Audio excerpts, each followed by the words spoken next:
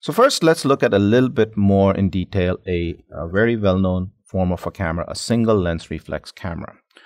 This is an example of one. Uh, it has a lens and the whole body. I'm going to take the lens off and you basically now can see more details of this camera. Uh, we'll look at it much more in detail in a few seconds, but uh, you basically see that there are certain aspects of this camera. There's a viewfinder. In there, there is a mirror which moves away. Uh, we'll see examples of that a lot. Uh, and of course, this is where uh, the shutter releases. So this is a standard film camera here. I wanted to also show you this. Most of you are concerned that I've exposed film. This was an exposed film already. Uh, we will be looking at more detail what a film like this looks like. But this is, again, you know, one of the more widely used form factors for professional photography. So here I'm showing you now a cutout of the same camera or a similar camera. Here you can see all of the details that we looked at. This is where the viewfinder was the focus or zoom ring uh, in the lens, and I took this out before I showed you any of the stuff, were right here.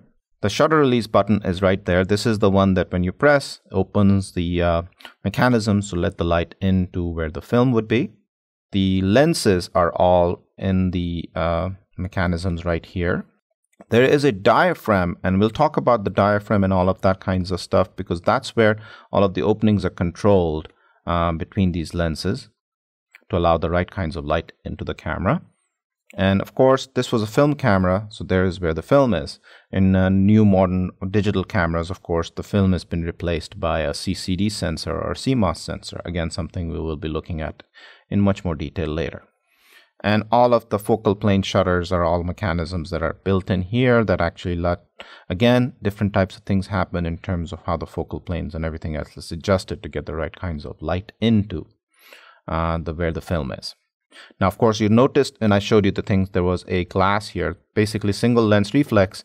This thing opens to allow you to get the light in correctly, and this is the prismatic sensor that lets the light into the viewfinder. So the viewfinder can see exactly what the lens is seeing, and as soon as the shutter is released, the mirror moves up, and then the light basically goes and hits the film. So you actually get to see exactly what uh, you're seeing will be the one, uh, the image that will be registered, and actually then uh, imaged on the sensor or the film.